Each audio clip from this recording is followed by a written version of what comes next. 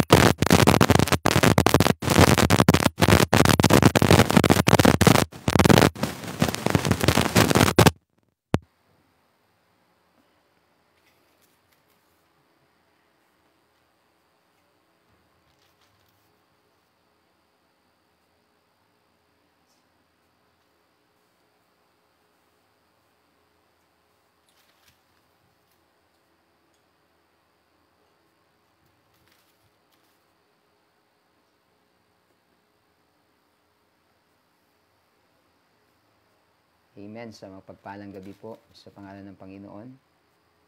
Welcome po tayo sa ating uh, Monday night Bible uh, Monday night Bible study. Amen. At um, maghintay pa tayo ng ilang mga minuto mga kapatid. Habang naghintay tayo sa iba nating mga kapatiran. Siguro kahit mga 8.15, start tayo ng 8.15. Amen. Good evening po uh, Ninang Mildred Liagas and uh, Ninong Ingo Liagas at ang buong Liagas family. Magandang gabi po sa inyo. Sister Mary Jane Miranda, magandang gabi po. Pastor Sagani and um, Sister Mary Jane Albinio, good evening po sa atin. Amen. Praise the Lord. So, hintayin natin sila bago tayo magsimula sa ating Bible study ngayong gabi. Amen.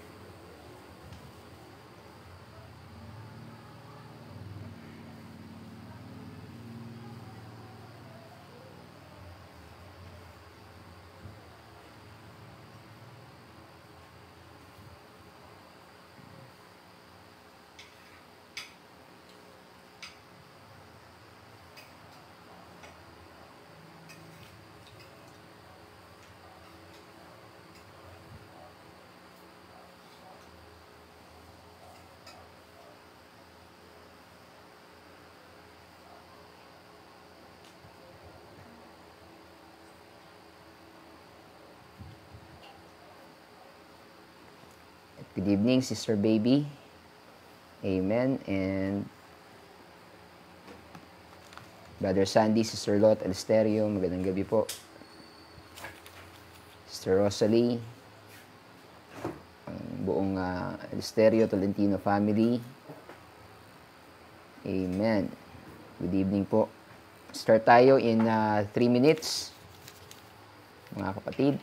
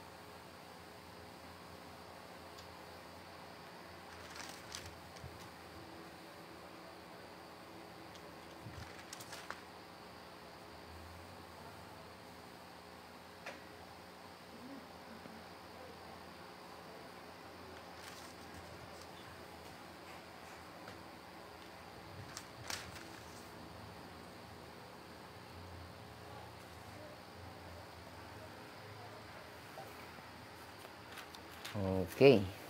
8.15 na. Praise the Lord. So tayo po ay magpasimula na sa ating Bible study ngayong gabi. Yung iba siguro, habol na lang, ano? Sana umabol ng iba. Praise the Lord. So, start na tayo mga kapatid. Tayo po ay manalangin sa pasimula ng ating Bible study. Let's pray. Nakila at mapagpalang Diyos, salamat po sa gabing ito. Salamat sa buhay at kalakasan na patuloy mong pinagkakaloob sa pag-iingat sa maghapon, sa proteksyon, sa gabay. Salamat Panginoon dahil palagi kang uh, nariyan, nag-iingat sa amin, nagpo-protect sa amin sa man kami pumunta, lagi mo kami sinasamahan. At salamat din po sa pagkakataon ngayong gabi na makapakinig, mag-aral na yung salita. Panginoon, na uh, linisin mo po ang aming mga puso at handa mo po ang bawat isa sa pakikinig ng iyong salita, hugasan mo ng iyong banal na dugo, at ikaw po ang siyang mangusap, gamitin mo po ang iyong lingkod na magsasalita, magtuturo. Wala po kami magagawa sa aming sarili, humingi po kami ng biyaya, humingi po kami, Panginoon, ng karunungan na nagagaling sa iyo, anointing na nagagaling sa iyo, Panginoon. Marami po salamat. Ito po ang aming samo at dalangin. Inubuksan namin ang gawain ito at ang mga kapatiran na wala pa, idako mo rin po sila sa pakikinig ng Bible study ngayong gabi. Ito po ang aming dalangin. In Jesus' name we pray. Amen. Amen. Okay. So, walang nadagdag ah. Nabawasan palalo. Apat na lang. Kahapon sa church, dami nag-amen. Tapos ngayon, apat lang nakinig. Nasa na iba? Alright. So, siguro iba habol ano. Anyway, start na tayo sa ating Bible study. Alam naman nila ang schedule natin. So, tayo po ay uh, magpapatuloy sa ating pag-aaral dito po sa Galatians. Good evening po, Sister Monica. Amen. So, magpapatuloy tayo sa ating Bible study. Tayo po ay nasa isang serye ng pag-aaral dito po sa Book of Galatians. At ito po mga kapatid ay uh, tinatalakay natin, I believe, for uh,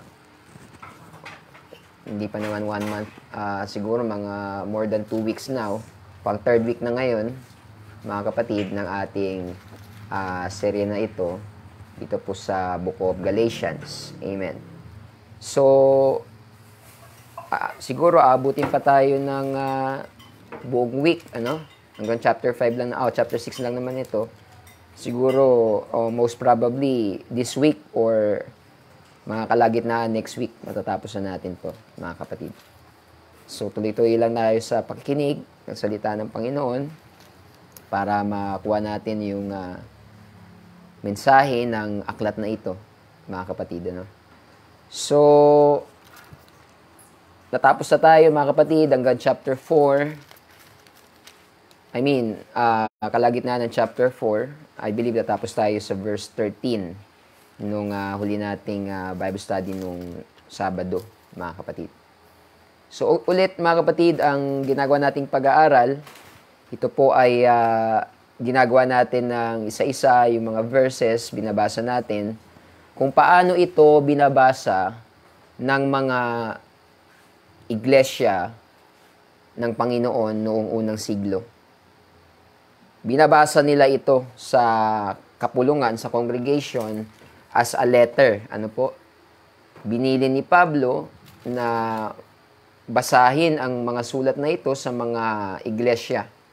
So, binabasa nila yan buo, mga kapatid, binabasa. Hindi po isang verse, hindi po putol-putol, kundi binabasa yan ng buo, mga kapatid, para makuha nila yung mensahe, yung, yung kaisipan na nakapaloob sa sulat. So, ganun po yung ginagawa natin ngayon. Gusto nating uh, ma- ma-catch yung message, yung original message na na pinaparating ni Pablo as he was inspired by the Holy Ghost sa mga mananampalataya sa Galacia nung panahon na yan. Para isipin ninyo, isipin natin na parang tayo yung mga taga-Galasya na sinulatan. At sa gayong paraan, ay mas maunawaan natin ang ibig sabihin ng mga verse na ito. Hindi natin ma-mis- ma-misinterpret, ma-misunderstood, o and eventually ma-misapply yung mga verses na nababasa natin. So, kaunting uh, preview lang, ano po, kaunting review. Ang uh, sulat na ito ay sinulat ni Pablo uh, sa dahilan na uh, may mga kumakalat na mga maling tagapagturo sa Galacia na ang mga mananampalataya ay pinipilit nila na bumalik at gawin, sundin ang mga seremonya, mga ritual, mga kautusan sa lumang tipan na para sa mga Hudyo. So may mga tagapagturo na pumupunta sa mga Galas sa mga taga Galasya, sa mga mananampalataya sa Galasya, sa mga churches sa Galasya para sila ay hikayatin na kailangan nilang sundin ang mga seremonya, ang mga tradisyon ng mga Hudyo kung gusto nilang maligtas. Kaya nang nabalitaan ni Pablo na may ganyang mga kumakalat na mga maling tagapagturo, magandang gabi po Brother Alex and Brother Reynolds. Nung mabalitaan ni Pablo na may mga kumakalat na ganyan tagapagturo, sinulatan niya. Ginawa niya ang paraang magagawa niya para sila ay maabot at ng panahon na yon, uh, ito po ay ang pagsusulat. So sinulatan niya ang mga taga-Galasya para paalalahanan sila patungkol sa tamang pananampalataya. Amen. So dito na tayo sa Galatians chapter 4. Natapos tayo sa verse 11. So babasahin natin ngayon sa verse 12. Galatians 4 and verse 12. Ito po ang sabi sa Tagalog. Ipinamamani ko sa inyo, mga kapatid, na kayo'y magsitulad sa akin, sapagkat ako'y katulad din ninyo. Sabi sa King James, mga kapatid, sa verse 12, Brethren, I beseech you, be as I am, for I am as ye are. So si Pablo, mga kapatid, ay hinikayat sila na gayahin gayahin nila si Pablo. Kung paanong si Pablo ay nakibagay sa kanila. Ito yung sinabi ni Pablo na sa mga mahihina ay nagpakahina siya. Sa mga malalakas, nagpakalakas siya. Sa mga edukado, sa mga aral, ay ginamit niya yung kanyang kaalaman. Sa mga hindi, eto, hindi edukado, hindi aral, ay nagpakamangmang si Pablo. Ngayon, sinabi niya na by all means to save some. Nakibagay si Pablo sa lahat ng tao, alang-alang sa Ebanghelyo. Kaya dito, sinasabi ni Pablo na makigaya kayo sa akin, makitulad kayo sa akin. Gaya naman ng ako'y nakitulad at nakibagay sa inyo. Willing si Pablo na puntahan at pangaralan ng mga hintil na ito na hindi ay uh, na hindi gustong puntahan dati ng mga Hudyo siya bilang dating Hudyo, hindi hindi po siya hindi, hindi po siya nasanay na makibagay sa mga hentil. Pero alang-alang sa ebanghelyo ay nakibagay si Pablo sa lahat ng tao. Pinuntahan niya yung mga Gentiles na dati ay kinaaayawan niya bilang isang debutadong Hudyo. Ang tingin ng mga Hudyo sa mga hentil ay mababa. Pero alang-alang sa ebanghelyo ng Panginoong Kristo, nakibagay si Pablo sa kanila. Ganyan din tayo mga kapatid, ano? Talagang uh, kinakailangan tayo makibagay sa lahat ng tao alang-alang sa Ebanghelyo. Hindi tayo namimili ng ating uh, tuturuan, hindi tayo namimili ng ating pakikibagayan. Kinakailangan nating makitulad, makibagay sa lahat ng tao alang-alang sa salita ng Diyos. Pwede tayong uh, mag-Bible study sa magagandang lugar, sa mga company, sa mga subdivision. Pero pag may Bible study mga kapatid sa sa mga kung saang lugar mga kapatid eh hindi tayo dapat tumanggi. Oh, may Bible study, kung may Bible study sa mga subdivision, may Bible study sa squatters area, may Bible study sa palengke, may Bible study sa kung saan mga kapatid ano, sa company, kahit saan makikibagay tayo mga kapatid, ano? Talagang alang-alang sa ebanghelyo ng Panginoon. Kaya sabi ni Pablo, nakibagay ako sa inyo.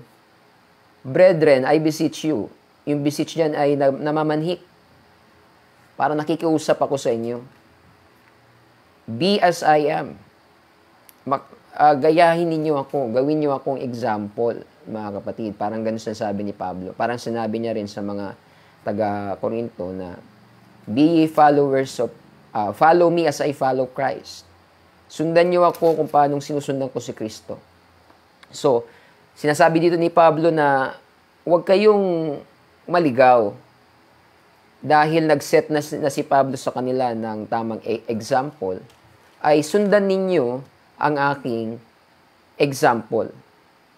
Gayahin ninyo ang aking binigay na ehemplo.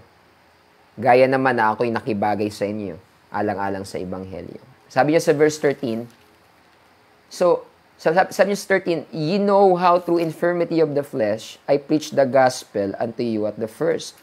Sa Tagalog, datapot nalalaman ninyo na dahil sa sakit ng laman, ay pinangaral ko sa inyo ang ebanghelyo ng pasimula.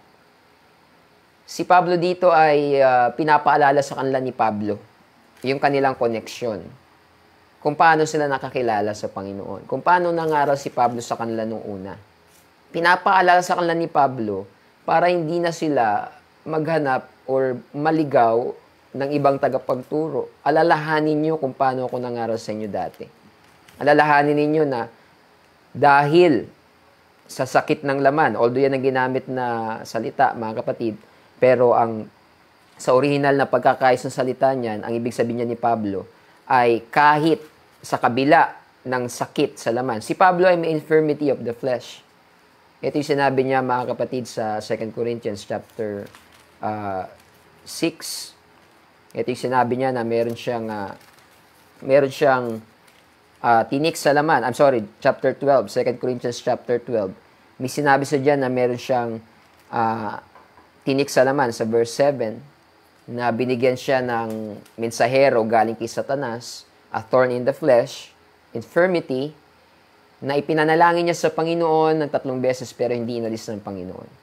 Maraming espekulasyon kung anong sakit ni Pablo. So si Pablo po ay mayroong infirmity, mayroong sakit.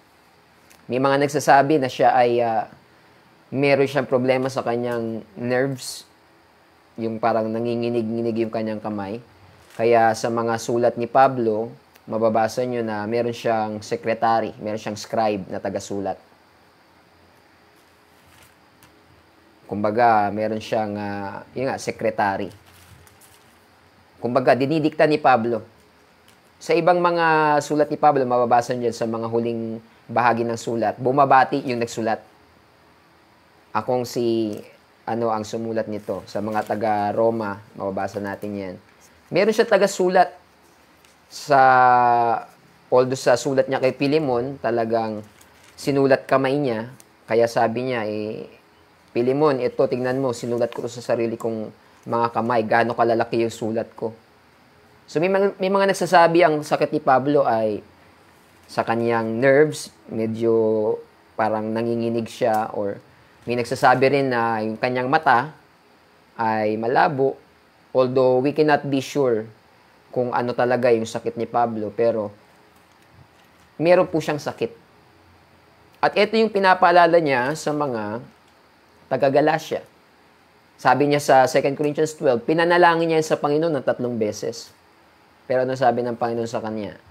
Pinagaling ba ng Panginoon yung kanyang sakit? Sabi ng Panginoon sa kanya, Paul, my grace is sufficient for thee. Sapat na ang aking biyaya sa iyo. Hindi siya pinagaling ng Panginoon kahit tatlong beses siyang nanalangin.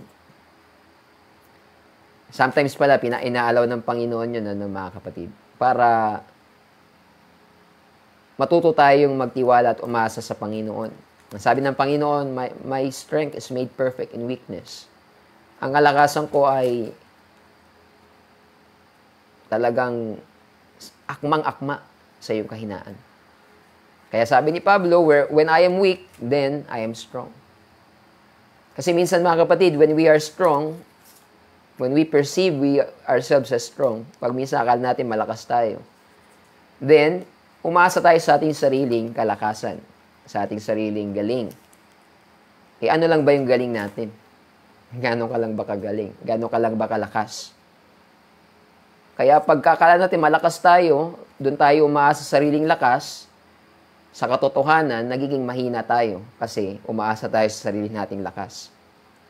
Pero pag tayo ay mahina, kapag tayo ay nasa pagsubok o nasa kainaan, nasa, minsan nasa karamdaman, natututo tayong umaasa sa Panginoon. At dahil umaasa tayo sa lakas ng Panginoon, sa kapangyarihan ng Panginoon, doon tayo totoong nagiging malakas. Kasi yung lakas na inaasahan natin ay hindi sa ating sarili, kundi sa Panginoon. Kaya sabi doon ni Pablo, natuto siyang magalak. Natuto siya mga kapatid na na take pleasure, sabi nga sa isang translation, in, in, in his infirmities, in reproaches, in persecution. Hindi na siya nagmumukmuk, hindi na siya nagsiself-pity sa mga negative things, sa mga pagsubok, sa mga karamdaman, sa pag-uusig. Natutunan niya na magalak dito at actually maging sabi niya nga ginamit niya na term doon ay to boast sa, sa, sa kabila ng mga pagsubok. Natuto siyang magalak mga kapatid. Bakit? For when I am weak then I am strong. Dahil kung kailan ako mahina doon ako malakas amen So, si Pablo ay mayroong uh, infirmity in the flesh. Si Apostol Pablo na po yun, mga kapatid. Pero meron siyang sakit ng laman. Although, again, we cannot be sure kung ano ba yung sakit ni Pablo. Pero meron po siyang dinaramdam sa kanyang katawan. Kaya kung may dinaramdam kayo sa inyong katawan, mga kapatid, kung merong kaunting problema, okay lang yan. Okay lang yan magtiwala sa Panginoon, umasa sa Panginoon at manampalataya lang sa Panginoon. Si Pablo nga, mayroong thorn, thorn in the flesh. Kaya sabi niya dito sa verse 13, nalalaman ninyo, pinapaalala niya sa mga taga-Galacia, na nung nangaral ako sa inyo, may sakit pa nga ako noon. May infirmity of the flesh ako. Meron akong kahinaan, meron akong dinaramdam sa, kanya, sa kanyang katawan nung, nung may sakit ako. At yaong sa inyo'y isang tukso sa aking laman ay hindi nyo inalipusta. Sabi ni Pablo sa kanila, ang maganda sa inyo, iba nung nangangaral ako, kahit ako ay uh, merong sakit sa laman, eh hindi nyo ako inalipusta. Hindi nyo ako dinespise. Ano ba yung mga ngaral na yan? Ano yan, may sakit? Sabi nga ng, sabi nga ng mga tao nun sa Panginoon eh, Doctor, heal yourself. Doktor ka pala, eh, pagalingin mo yung sarili mo. Nangangaral ka, eh, may sakit ka. Nangangaral ka, samantalang nagsishare ka ng, ng patungkol sa Diyos, samantalang ikaw mismo ay gipit. Ikaw mismo ay may pagsubok. Pero hindi ganun ang kaisipan ng mga taga-Galasya. Kahit na si Pablo no nangangaral may kahinaan sa kanyang laman, may kung anong sakit si Pablo noon, sabi niya, hindi niyo niyo ako inalipusta, ni itinakwil man, kundi ako'y tinanggap niyo, ninyong tulad sa anghel ng Diyos, tulad kay Kristo Jesus. Pinaalala sa kanila ni Pablo yung magandang memory ng kanilang uh, pagsasama nung, sa ministry ni Pablo nung nasa Galatia pa siya. Sabi niya, kahit may infirmity of the flesh ako, hindi niyo ako nalipusta, hindi niyo ako nilait, hindi niyo ako tinakwil, kung hindi tinanggap niyo ko kagaya ng sa isang anghel ng Diyos. Ang anghel, mga kapatid, o Agelios, mga kapatid, ito po, ang ibig sabihin niya ay messenger. Messenger. Itinuring nila si Pablo na anghel, ang ibig sabihin niya doon ay messenger, mensahero na galing sa Diyos, tulad kay Kristo Jesus. Kung paano ang Panginoong Yesus sa kanyang pagka, pagkatawang tao ay may dalang mensahe, may dalang mabuting balita, ng kaharian ng langit. Sabi ni Pablo, itinuring niyo ko kagaya ng isang mensahero ng Diyos.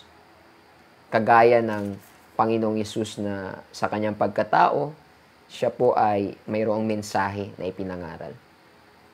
So dito, nire-remind sila ni Pablo nung kanyang ministry sa kanila. Bakit? Ang purpose pa rin dito ni Pablo ay paalalahanan sila na nasa tama na sila. nung nagminister si Pablo sa kanila, tinanggap nila ng maluwag, tinanggap nila, at, at sila ay may kagalakan. At ngayon narito yung mga mga tagapagturo na mali na mga Hudyo, binabagabag ang kanilang damdamin na hindi kayo maliligtas, hindi nyo ginagawa yung mga seremonya, yung mga ritual sa Old Testament, yung tradisyon. Kailangan nyong gawin yan. Binabagabag, inaalis yung kanilang kagalakan. At, at most importantly, inaalis yung kanilang pananampalataya yung pananampalataya nila sa ebanghelyo ng Panginoong Kristo, nililipat doon sa mga seremonya at mga ritual ng Old Testament. Kaya, pinapaalala sa kanila ni Pablo, tinanggap ninyo ako kagaya ng anghel ng Diyos, kagaya ng mensahero ng Diyos. Saan nga, nar, saan nga naroon yaong inyong, sabi niya dito sa verse uh, ah, 15, saan nga naroon na ang inyong kapalaran sapagkat pinatotohanan ko sa inyo na kung mangyayari ay inyong ginukit sana ang inyong mga mata at ibinigay sa akin. What then was the blessing you enjoyed? Naalala nyo, di ba, kung gaano kayo kagalak, pinagpala kayo nung, nung nariyan ako, nagmi-minister ako sa inyo. Kulang na lang, dukitin niyo yung mga mata niyo, ibigay niyo sa akin. Parang tinanggap niyo ko talaga na talagang bilang mensahero ng Diyos na yung, yung ebanghelyo na ipinangaral ko sa inyo ay tinanggap ninyo ng buong puso.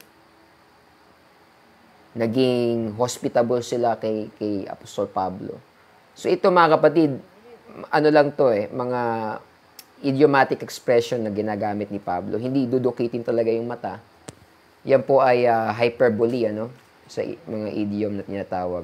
Hyperbole na parang ginagawa niyang extreme. Kumbaga, sabi ni Pablo, Kulang na lang, kunin niyo yung mga mata niyo at ibigay niyo sa akin. Sa sobrang pag, uh, pag-aalaga ninyo at pagtanggap ninyo sa akin nung nariyan ako. Kasi nga si Pablo, nung nagtatag siya ng iglesia dito, after niyang matatag, umalis na siya. At nagtatag siya ng iglesia sa ibang mga lugar. Kaya pinapala sa ni Pablo, nung nandyan ako, naroon yung kagalakan ninyo. Sabi niya, nasaan na yung, yung pag, yung kapalaran ninyo, yung blessing na in-enjoy niyo. Nasa na yung kagalakan ninyo nun. Kaya nga sabi niya sa mga naunang chapter, di ba, yung sa una nating pag-aaral, eh, lubha akong namangha. Nagulat ako, kay bilis nyo namang magsilipat sa ibang ibanghelyo. Nanghinayang ako dahil nangaral ako sa inyo, tinuruan ko kayo. Kaya sabi niya dito, kulang na lang ibigay ninyo ang ang mata ninyo sa akin, dukitin ninyo. Alam niyo mga kapatid, isa yan sa mga ugali rin nating mga Pilipino, ano? Pag may bisita, eh, nailalabas yung mga, oh, yung mga mamahaling gamit. Kapag kami bisita, ang sarap ng ulam. Pag walang bisita, delata.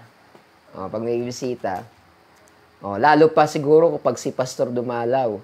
Ayan pag dinalaw ni pastor. Wala si Nanay Bien ngayon eh. Pag pupunta ako la Nanay Bien, uh, papabili pa ng pansit yun. Papabili pa ng kung ano-ano yun. Amen. Diyan kila uh, kila si Sir Mildred. Dito pa ba si Ninang Mildred? Narito siya kanina eh, nawala na. Pag nag-Bible study dyan, ako, grabe pagkain, ano. Parang fiesta. Kila, Nina, kila si Sir Mildred Liagas. At alam ko naman, pag dumalaw ako sa inyo, yan, kila Sister Mary Jane, Sir Baby. Oo, oh, pag pupunta ako sa Sister Baby, may Bible study dati, eh, talagang nagpapa-juice yan. Eh. Nagpapatinapay, ano? Talagang kila Sister Wing, Austria, pag pupunta kami sa Rioli, pag Sabado, eh, nagpe-prepare talaga. Dahil tinatanggap ni, eto yung sinabi ni Pablo, na tinanggap ninyo ang mga ngaral na kagaya ng anghel ng Diyos. Tinatanggap, tinanggap ninyo ang mga ngaral na bilang mga mensahero ng Panginoon.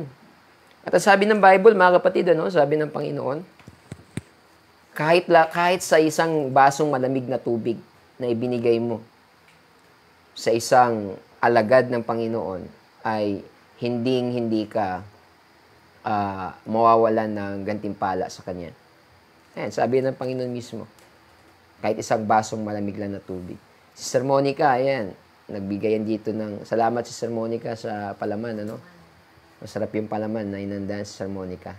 Amen. So, yan po ang tinutukoy dito ni Pablo. Yan, kila Sister Lot, kila Brother Sandy, pag pumunta rin kami dyan, ako, grabe ang kanilang uh, paghahanda at talagang na-appreciate po namin yan, mga kapatid, ano. Kaya, ito yung sabi ni Pablo, pinapaalala niya. Pinapaalala niya.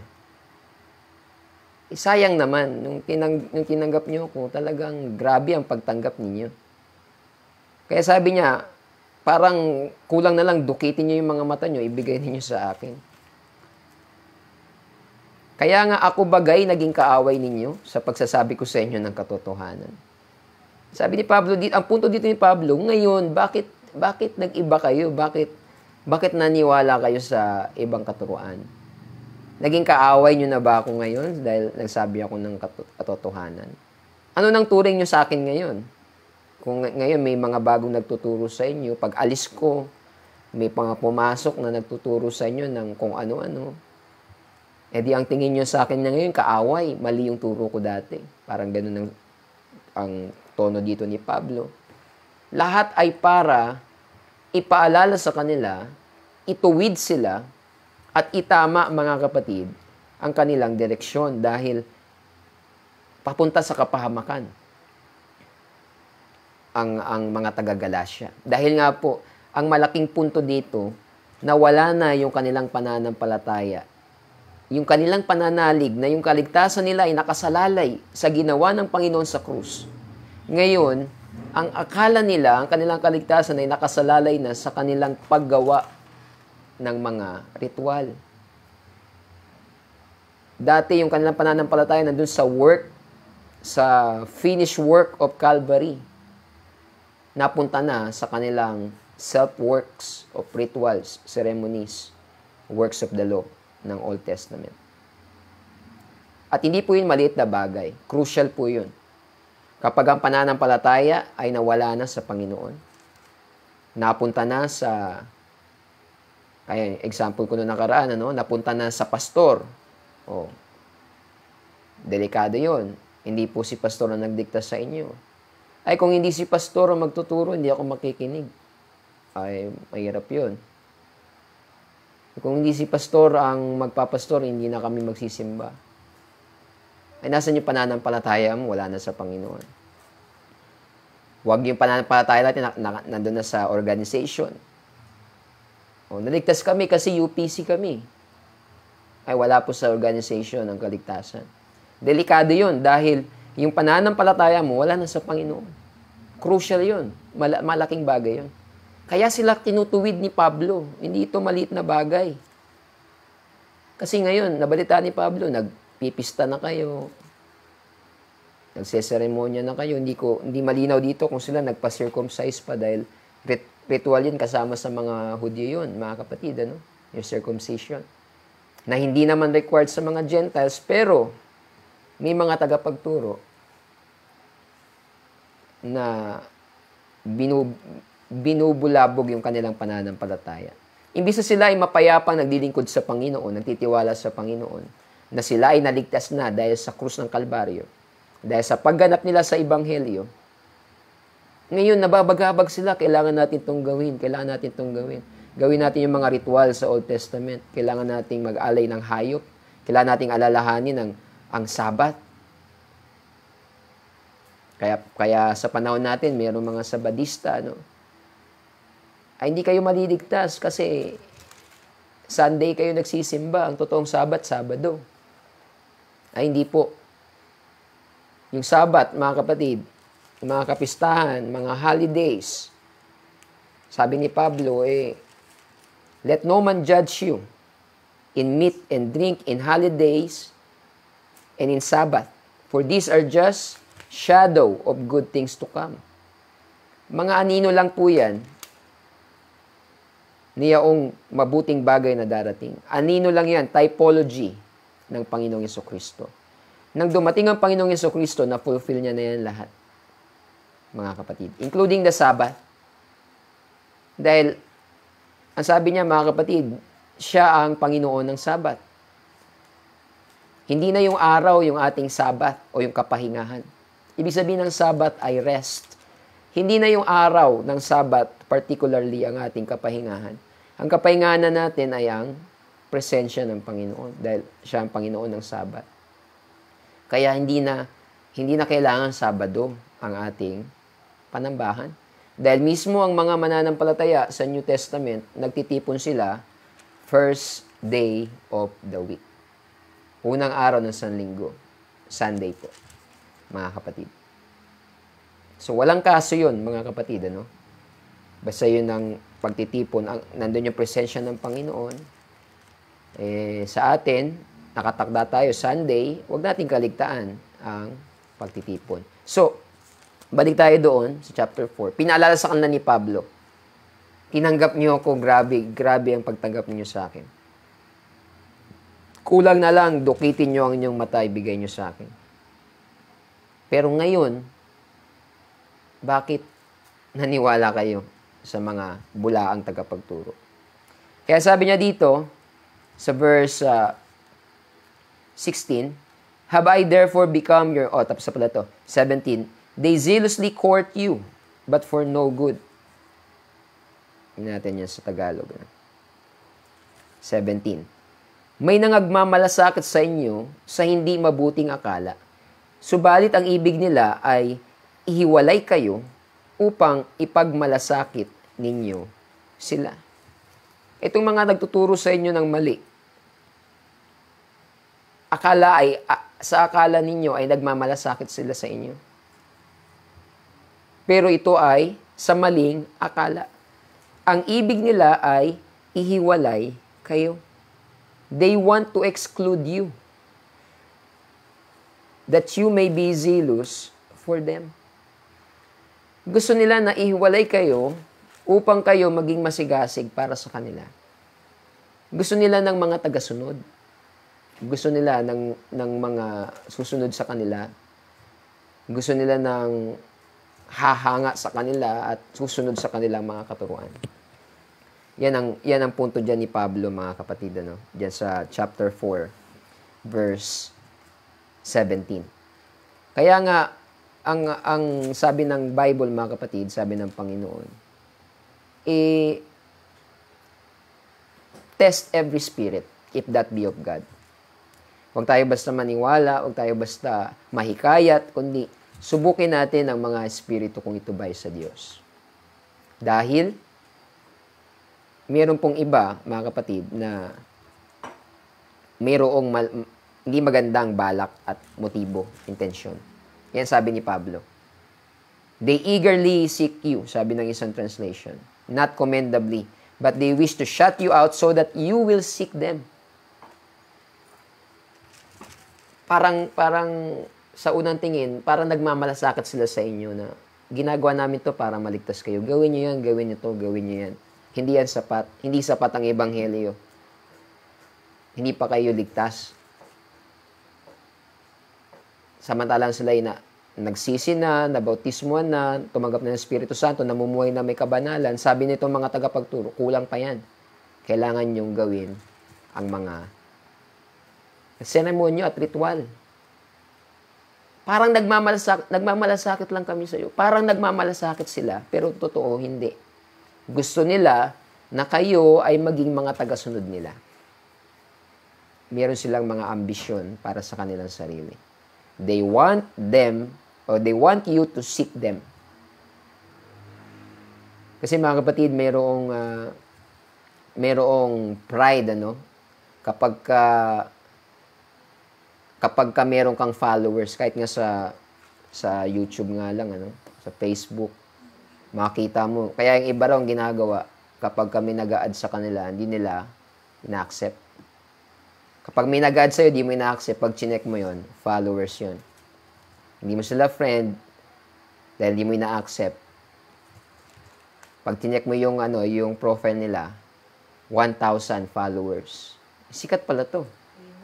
Dahil followers. Pag tinignan mo yung YouTube channel, uh, 100,000 subscribers. Wow. Diba may may may pride na nanggagaling dun eh pagka marami kang followers. So sabi ni Pablo, yan ang yan ang hangad nila. They want them that they want they do that so that you will seek them. Gusto nila na maging tagasunod kayo nila. Yun ang kanilang intensyon. Mga kapatid, mag-ingat tayo. Mag-ingat tayo sa ating panahon.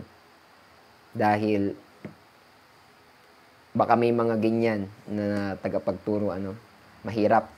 Baka kayo maging imbis na mga disciples at tayo maging mga believers, baka tayo ay maging mga fans. Huwag tayo maging fans ano. Hindi tayo tinawag para maging fans. Ay fans ako, fan ako nito eh kasi magaling yan mangaral. Hindi ka tinawag para maging fan ng isang kung sinong personality.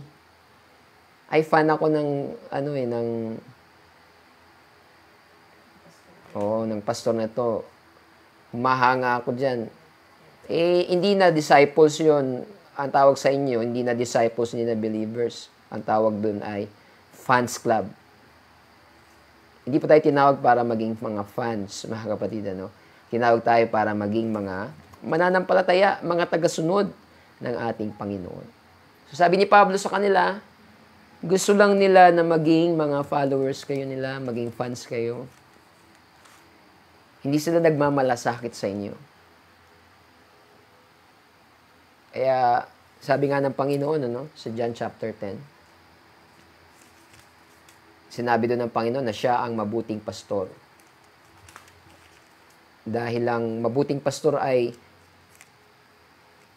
willing ibigay ang kanyang buhay para sa mga kawan. Hindi siya kagaya ng mga magnanakaw. Sabi niya, yung mga nauna sa akin, mga hindi dumaan sa pinto, sila ay mga magnanakaw at mga tulisan. At meron din na binanggit doon, mga kapatid, na mga bayaran. Dito sa chapter 10, ano, basahin natin. Mukhang hindi natin maabutan yung ating pinaka title ngayong ha, ngayong gabi. Pero anyway, kung saan lang tayo matapos, hanggang lang tayo. Gusto ko tong daanan, ano. Nagpakilala ang Panginoon dito sa John chapter 10 bilang mabuting pastor. Naalala ko meron ding turo nito si Pastor Jerome sa Richmond Hill. Napakinggan ko. Ito. Sa verse 11, ang sabi niya, Ako ang mabuting pastor. Ibinibigay ng mabuting pastor ang kanyang buhay dahil sa mga tupa. Ang nagpapaupa at hindi ang pastor, na hindi may-ari ng mga tupa, ay nakikitang dumarating ang lobo at pinababaya ng mga tupa tumatakas. At inaagaw sila ng lobo at pinapangalat. Ang mabuting pastor daw, sabi niya, walang iba kundi ang Panginoon. Ang Panginoon ang ating chief shepherd. Kami pong mga pastor, eh, mga under shepherd lang kami ng Panginoon. Sabi nga ng iba, mga shepherd dogs lang kami. Ang totoong pastor ng ating kaluluwa ay ang Panginoon. Sabi niya, ang mabuting pastor, bibigay ang kanyang buhay dahil sa mga tupa. Ginawa ng Panginoon, ano? Binigay niya ang kanyang buhay para sa mga tupa. Pero meron ding tinawag siya dito ng mga nagpapaupa, mga bayaran. Yung mga upahan daw, na hindi talaga mga pastor, dahil hindi naman sa kanila, kapag dumarating yung mga lobo, yung mga wolves, eh tumatakas, tumatakbo, iniiwan yung mga tupa. Pinababayaan at tumatakas. Kaya inaagaw ng lobo at pinapangalat yung mga tupa. Verse 13, Siya'y tumatakas sapagkat siya'y upahan at hindi pinagmamalasakit ang mga tupa. Ako ang mabuting pastor at nakikit, nakikilala ko ang sariling akin. At ang sariling akin ay nakikilala ko. So yan po ang sabi ng Panginoon, mga kapatid. So, from there, makita natin ano, na meron ding mga uh, upahan na iba ang intensyon sa mga tupa. Mali, masama ang intensyon sa mga tupa. Kaya dito, yan ang sabi ni Pablo, yung mga tagapagturo na yan, hindi sila nagmamalasakit sa inyo. Gusto nila na kayo ay maging tagasunod nila. Kaya sabi niya dito mga kapatid sa verse 18, verse 18, balik tayo doon. Galatians chapter 4, verse 18. Datapot mabuti ang ipagmalasakit sa mabuting bagay sa lahat ng panahon. At hindi lamang samantalang ako'y kaharap ninyo. Sabi ni Pablo, dapat maging masikap kayo. Yung zealous dyan, mga kapatid, na ginamit niyang word. Zealous. It is good to be zealously affected always in a good thing. And not only when I'm present with you. Dapat daw, mga mananampalataya, maging masigasig. Hindi lamang kapag ka kasama ninyo ako, sabi niya sa mga taga-Galatia. Mabuti yan na maging masigasig kayo palagi sa lahat ng mabuting bagay. At hindi kapag kakasama ninyo lang ako. Ayan. Yung pagiging masigasig daw natin, hindi pagkasama lang si pastor. O, kumbaga, hindi pagpakitang tao lang, kundi kahit wala, mga kapatid, kahit wala nakakita, kahit wala si pastor, kailangan tayo ay masigasig sa mga mabubuting bagay. Kaya sabi niya sa verse 19, My little children, sabi sa Tagalog dito, maliliit kong mga anak na muli kong ipinagdaramdam sa panganganak hanggang si Kristo ay mabadha sa inyo. So si Pablo, tinuturing niya ang mga taga-Galasya na sila ay mga anak niya sa pananampalataya. Sabi niya, I travail in birth again until Christ be formed in you. Bilang uh, bilang tinuturing niyang mga anak sa pananampalataya. Sabi niya, eh, para ko kayong ipinanganganak uli. Nagtatravel siya, yung, yung hirap sa panganganak, may pag-iyak, merong pagtangis, merong, merong sacrifice. Ginagawa ni Pablo. Ginagawa ng, ng isang pastor, mga kapatid. Ano? Hanggang maporma sa kanila si Kristo. Ay, ayun ang pinaka-goal, mga kapatid. Ano? Hindi hanggang yumaman kayo. Hanggang kayo maging mga milyonaryo lahat. Hindi ganun ang, hindi po ganun ang, ang idea at ang goal ng pagpapastor. Hindi po haalagaan ko kayo hanggang kayo maging mayaman, hanggang kayo maging pinagpala, hanggang kayo maging successful. Hindi po yun ang goal. Ang goal po ng paglilingkod sa Panginoon, until Christ be formed in you. Sabi ni Pablo, nag, nagdaramdam ako, kumbaga, nagsasacrifice siya, iniiyak sila ni Pablo, tinuturuan sila ni Pablo, pinapaalalahanan, nandoon yung mga yung mga sacrifices na ginagawa niya, kagaya ng sa panganganak, hanggang maiporma sa inyo si Kristo. Ang goal niya, until Christ be formed in you. Ang goal, mga kapatid, kung bakit tayo tinuturuan, kung bakit tayo pinapangaralan, kung bakit tayo nananalangin, kung bakit tayo uh, nilagay ng Panginoon sa isang church congregation ang purpose po until Christ be formed in you. Ang purpose ay maihulma sa iyo si Kristo. Sa bawat isang mananampalataya, maihulma si Kristo sa atin. Maging kagaya tayo ni Kristo. Yun po ang goal. And yan sabi ni Pablo sa mga taga-Epeso, no? Ephesians chapter 4, verse 11. Ang sabi diyan, And He gave some apostles, some prophets, some evangelists, and some pastors, and some teachers. Nagbigay siya ng mga apostol, mga propeta, mga ebanghilista, mga pastor at mga guro. Bakit? For the equipping of the saints, for the work of the ministry, for the edifying of the body of Christ. Ang goal kung ba't nagbigay ang Panginoon ng fivefold ministry, para po ma-equip ang mga saints Parang bawat mananampalataya ay ma-equip, ibig sabihin, malangkapan.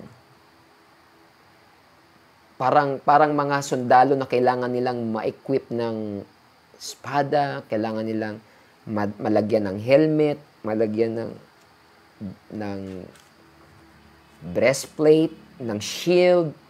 Kailangan yung ma-equip. Kaya, kaya, kaya nagbigay ang Panginoon ng fivefold ministry. Ano pa? For the work of the ministry. Para yung mga saints, ma-equip sila para sila ay mag, mag, magkaroon din ng work in the ministry. Para magkaroon din ng bawat isa ng, ng gawain ng paglilingkod. Bawat isang mga mananampalataya ay ini-equip para po sa inyong sari-sarili, sa ating sari-sariling work of the ministry. Ang ministry po ay hindi po para sa mga pastor lang. Ministry means serving. At lahat tayo naglilingkod sa Panginoon. So, ini-equip tayo para tayo makapag-minister, para tayo makapaglingkod. For the edifying of the body of Christ. Para ang katawan ni Kristo ay ma-edify, mapatibay, mapalago. Ang sabi dyan? till we all come to the unity of faith and of the knowledge of the Son of God. Hanggang tayo ay magkaisa sa pananampalataya. Yung level natin, lahat tayo lumago. Hanggang tayo ay maging isa sa pananampalataya at pagkakilala sa Panginoon. To a perfect man, to the measure of the stature of the fullness of Christ. Hanggang maihulma tayo doon sa, sa pagiging matured na tao. Hanggang sa kasukatan ni Kristo. So ito yung sasabi ni Pablo na, till Christ be formed in you. Minsan hindi pa tayo nasa tamang hulma. Minsan meron pang sobra-sobra, meron pang kailangan tapyasin. Kaya sabi ni Pablo eh, mga anak kong maliliit, kayo ay aking parang parang ipinanganganak. Para nagdaramdam siya, nag nagtuturo siya sa kanila, pinagpipray sila hanggang maiporma sa inyo si Kristo. Dahil yan po ang goal. Sinabi rin yan sa Romans 8, ano? verse 29. Ano sabi doon? Ano ang ating predestination? Ano ang itinalaga sa atin na mangyari? Sa 8.29 ng Romans, For whom He foreknew, He also predestined to be conformed to the image of His Son, that He might be the firstborn among many brethren tayo daw po na kanyang mga pinili, ay itinalaga na maihulma. Maihulma tayo. Ayon sa imahe ng, ng ating Panginoong Heso Kristo. Sabi ni Pablo, till Christ be formed in you. Kailangan maiporma sa atin si Kristo. Kailangan yung hulma ni Kristo ang maihulma sa atin, mga kapatid. Kaya, inaayos pa tayo. Mga kapatid. Kaya pinapalalaan sila ni Pablo itong mga taga-Galacia. I travel. Nagturo ako sa inyo. Pinaalala, kumbaga it, itong parte ng sulat na ito parang flashback, ano? Parang flashback. Pinapalala sa ni Pablo, naalala nyo dati, kahit ako may infirmity, tinanggap nyo ako. Hindi nyo ako nilait, hindi nyo ako nireject, hindi nyo ako dinispice, tinanggap nyo ako. Tinanggap niyo ko na parang anghel, na parang minsahero ng Diyos. Naggrabe ang hospitality niyo sa akin, kulang na lang, dukitin niyo yung mata niyo, ibigay niyo sa akin. Kaya pinapaalalahanan niya na tinanggap niyo ko, tinanggap niyo ang pangangaral ng salita ng Diyos na may kagalakan. Naging masigasig kayo kahit wala ako. Kaya mga anak ko, sabi niya eh, ang aking goal ay maiporma sa inyo si Kristo. Ginagawa to ni Pablo para paalalahanan sila, huwag kayong madaya ng mga tagapagturong ito. Hindi sila nagmamalasakit sa inyo. Gusto lang nila na maging tagasunod nila kayo. Kaya sabi niya sa verse 20, I desire to be present with you now and to change my voice for I stand in doubt of you. Ito na yung damdamin ni Pablo. Nag-express na siya. Na sabi niya, kung pwede lang sana, sabi niya, ibig ko makaharap ninyo ako ngayon. Kung pwede lang, gusto ko nang pumunta dyan ngayon. Gusto ko kayong makita, gusto ko kayong makausap. Gusto kong baguhin ang aking tinig. Kasi dito tila, di ba sa mga naunang chapter, sinabi niya na, foolish Galatians, nagpakamangmang kayo. Sabi niya, pinagalitan niya talaga eh. Kasi nga, naliligaw eh. Sabi niya, gusto kong pumunta dyan, gusto kong baguhin yung tinig ko, gusto kong, yung tono ko, yung tinig. sapagkat ako'y nag-aalinlangan tungkol sa inyo. Nag-aalala ako sa inyo, mga taga-Galasya. Baka kayo'y naliligaw na.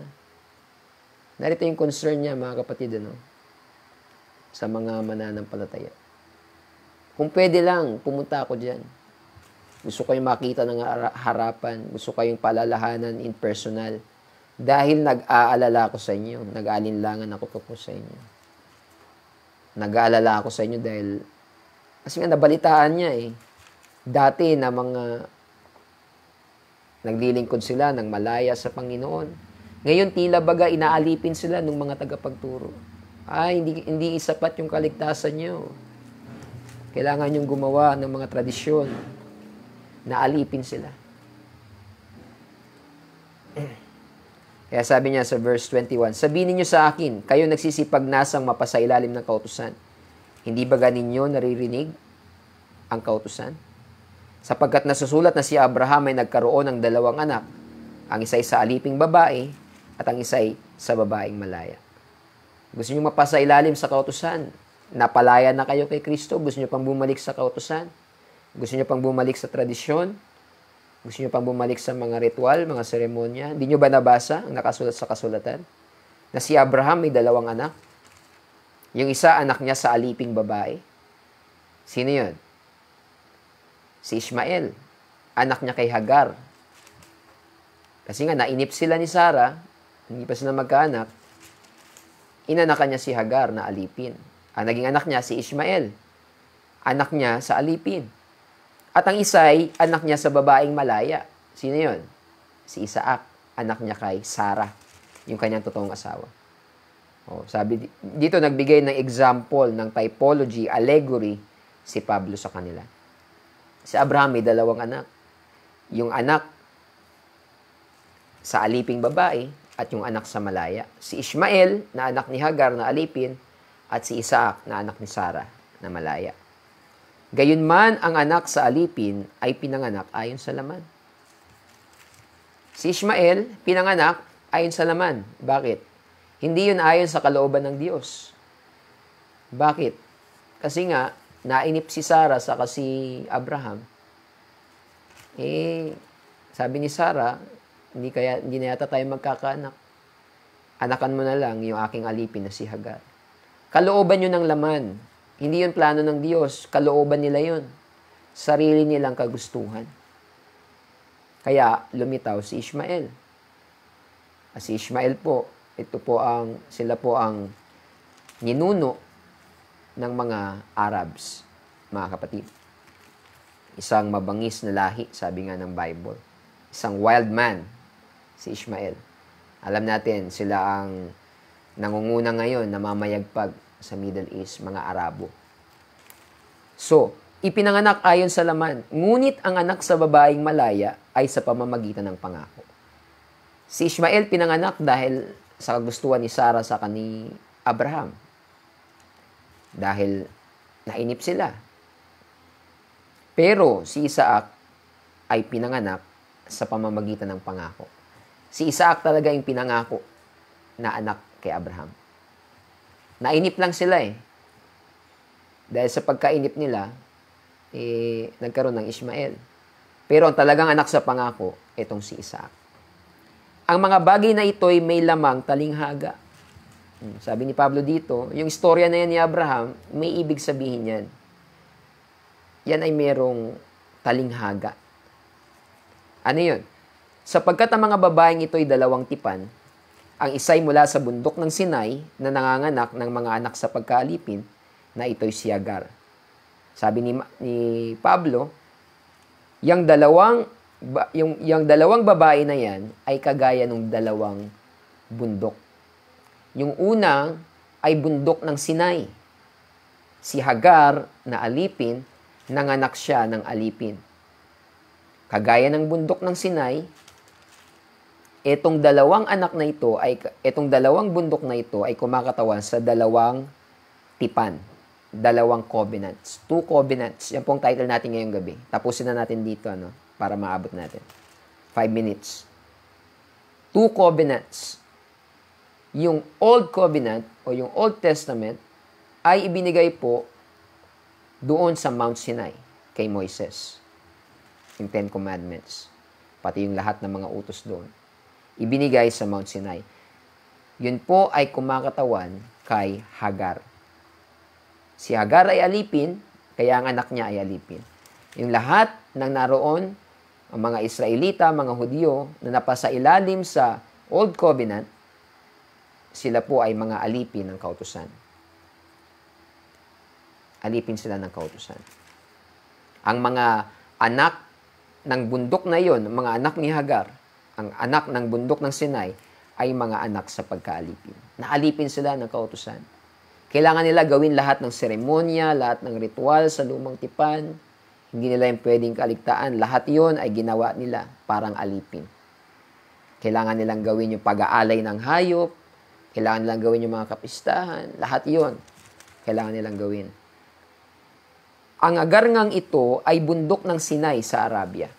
So yung bundok ng Sinai nasa Arabia, kagaya po ni Hagar na alipin. At ito'y katulad ng Jerusalem ngayon. Sapagkat ito'y nasa pagkaalipin kasama ng kanyang mga anak. So, itong uh, Old Testament, si Hagar, kumakatawan dun sa Mount Sinai, kung saan binigay ang Old, Old Covenant. Ganon din daw po ang Jerusalem ngayon, maging nung panahon nila. Yung mga Hudyo, under sila ng kautusan. Under sila ng mga seremonya, ng mga ritual, ng mga tradisyon. Alipin sila ng kautusan. Ngunit ang Jerusalem na nasa itaas ay malaya, na siyang ina natin. Pero merong New Jerusalem na nasa taas. Ito yung sabi sa Revelation, yung New Jerusalem, bababa. Galing sa langit, bababa dito sa lupa. At doon tayo titira, mga kapatid. Ang sabi dito, sapagkat nasusulat, magsaya ka o baog na hindi nanganganak, magbilang umawit, magbiglang umawit at umiyaw ka, ikaw na hindi nagdaramdam sa panganganak Kagaya ni Sarah, ano po? Si Sarah, baog. Hindi sila magkaanak. Pero itong anak sa pangako ay binigay ng Panginoon, sabi nga ng Book of Hebrews, eh, kahit patay na yung bahay bata ni Sarah, nanganak pa. Kahit siya ay baog, siya po ay nanganak. Sapagkat higit pa ang mga anak ng pinabayaan kaysa mga anak na may asawa. At tayo mga kapatid tulad ni Isaac ay mga anak sa pangako. Natapat kung papaanong yaong ipinanganak ayon sa laman ay nag-usig sa ipinanganak ayon sa Espiritu, ay gayon din naman kayo. So sabi ni Pablo, yung mga Hudyo, na ipanganak sila, na sila ay under sa kautusan. Mga seremonya, mga ritual, pag-aalay ng hayop, ginagawa nila yun lahat. Para yun sa kanila. Pero kayo, mga mananampalataya, tumanggap na sa Panginoon. Kahit tayo Gentiles, tayo yung mga anak sa pangako. Mga anak tayo sa pangako. Kagaya tayo ni Isaac. Hindi tayo kagaya ni Ismael. Kagaya tayo ni Isaac. Mga anak sa pangako. Kaya, kung paano yung mga anak sa laman, inusig yung mga nasa spirito. Di ba si Ishmael, sabi ng Old Testament, sabi ng Book of Genesis, tinutokso niya yung totoong anak, si Isaac. Kaya nagalit si Sarah eh. Anong ginawa ni Sarah? Pinalayas si Ishmael pati si Hagar. Kaya hanggang ngayon yung mga Arabs galit sa mga Israelita kasi pinalayas sila eh. Kaya sabi ng verse 13, Gayon man ano ang sinasabi ng kasulatan, palayasin ang aliping babae at ang kanyang anak sapagkat hindi magmamana ang anak ng babaeng alipin na kasama ng anak ng babaeng malaya. Kaya nga mga kapatid, hindi tayo mga anak ng babaeng alipin, kundi ng babaeng malaya. So sa dalawang anak ni Abraham, tayo yung kagaya ni, tayo yung kumakata, kinakatawan ni Isaac. Mga anak sa malaya. Yung sinabi ng Panginoon, ang iyong anak Abraham magiging kasing dami ng buhangin sa dagat, sila yung mga Hudyo pang dito sa lupa. Mga anak na literal, physical. Pero may sinabi rin na ang iyong lahi magiging kasindami ng mga tala sa langit. Yun yung mga anak sa pangako. Yun yung mga anak sa pananampalataya. Mga makalangit. Mga espiritual na anak ni Abraham. Mga. Mga anak sa pangako, kagaya ni Isaac. So, ang punto dito ni Pablo, mga kapatid, sa ating pagtatapos, hindi, mga taga-Galasya, hindi kayo under ng kautusan. Hindi kayo under ng ritual, ng seremonya. Huwag nyo nang gayahin yung mga Hudyo. Huwag kayo madaya ng mga maling tagapagturo. Dahil mga anak kayo sa laya. Tayo mga Gentiles, eh, hindi na tayo required na gawin ng mga seremonya ng mga Hudyo. Dahil sila, ipinanganak sila dun eh. Naipanganak sila, binigay sa kanila yung Old Covenant. Nung panahon na yon bago mamatay ang Panginoon, ginagawa nila lahat yon. Pero ngayon, hindi na yun nag apply sa atin. Kaya kung merong magha, magyayaya sa inyo na na, oh, kailangan Sabado ang simba. Mali yung Sunday, Sabado ang Sabat. Eh, naguhudi-hudiyuhan po yun, mga kapatid, ano? Oh, nabanggit ko na yun na nakaraan, no? Ang totoong pangalan ni, Je- ni Jesus ay Yeshua. Yeshua dapat. Mali yung Jesus. Mali yung Jesus. Kasi Yeshua daw sa Hebrew. Naguhudi-hudiwan yun, mga kapatid. Oh, kailangan natin mag-alay ng hayop. Kailangan natin. Hindi na po sa ating panahon. Dahil tayo pinanganak sa kalayaan. Kaya, gayon na lang pag-aalala ni Pablo sa mga taga-Galasya. Kasi, malaya na sila gusto pa nilang bumalik doon sa mga seremonya at ritual ng mga Hudyo. Ano ba naman kayo? Kaya sabi sa mga taga-Galasya, ano ba naman kayo? Nag-aalala ako sa inyo. Nag-aalala ako sa inyo. Tinuruan ko kayo. Tinanggap nyo ko, tinuruan ko kayo. Tapos ngayon, nahila kayo ng maling tagapagturo. Gusto kong pumunta dyan eh. Makausap kayo ng personal. Yan po ang gusto niyang sabihin dyan, mga kapatid. So, hanggang dyan muna tayo. Tutuloy natin bukas, mga kapatid. Overtime na tayo.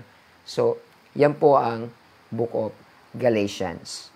Sa pag-aaral natin, unti-unti na nabibigyan ng linaw kung ano ang mensahe ng aklat na ito. Tutuloy natin bukas, chapter 5. Chapter 5, chapter 6. Dalawang chapters na lang tayo sa Book of Galatians. Nasa serye po tayo. Amen. So, I think matatapos natin this week. So, manalangin na tayo mga kapatid. Nawa, meron tayong natutunan sa salita ng Panginoon ngayong gabi. Uh, tayo po ay mag-pray. Let's pray. Dakila at mapagpalang Diyos, salamat po sa gabing ito. Salamat po sa iyong kabutihan. At salamat po, Panginoon, dahil sa aming natutunan ngayong gabi na, Panginoon, kami po ay mga anak sa pangako mga anak sa laya, at hindi po kami anak sa pagkaalipin. Kaya o Diyos, dahil po sa Ebanghelyo, nagkaroon na kami ng kalayaan na maglingkod sa iyo. Sa pagsunod namin sa iyong salita, nagkaroon na kami ng kalayaan, Panginoon, na maglingkod sa iyo. Tulungan mo kami na mamuhay sa kalayaang ito. Hindi kalayaan na gumawa ng masama dahil doon na kami galing, kundi kalayaan sa paglilingkod sa iyo ng totoo. Gabayan mo po ang bawat isa at pagpalain. Mga kapatiran ng UPC Malabon, UPC Tondo at iba pang mga churches, mga kapatiran namin abroad at gayon din po mga kaibigan mahal namin sa buhay na nakikinig. Pagpapala, gabay at protection, provision, ibigay mo po sa bawat isa at sa aming mga pamilya. Marami pong salamat, Panginoon, sa ipon namin ibinibigay ang lahat ng papuri, pagsamba, pasasalam. Ito ang aming dalangin sa aming pagtatapos. In the mighty name of Jesus Christ we pray. In Jesus' name. Amen. Amen, mga kapatid. Okay. Praise the Lord. Praise the Lord, mga kapatid. Salamat po sa inyong pakikinig. At uh, dyan na po nagtatapos ng ating Bible study. Tutuloy natin bukas. Salamat sa lahat. Uh, Brother Emmanuel, Olabe, Amen, Sister Baby, uh, Sister Baby Rodriguez, Sister Mary Jane Miranda, Brother Sandy, Sister Lot Elisterio, Sister Rosalie, buong Elisterio family, Tolentino. Amen. Sister Baby Lim, good evening po. Amen. Uh, Sister Mary Jane, okay. Brother Edgar Galima, salamat po sa pakikinig. Brother, Brother German Ungos, Brother Josh, Okay, Sister Francesca,